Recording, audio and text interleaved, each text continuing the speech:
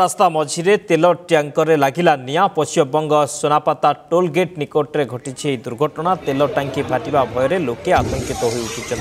খবর পাই ঘটনাস্থলের অগ্নিশম বাহিনী পৌঁছি নিয়াকে আয়ত করা চেষ্টা করুছে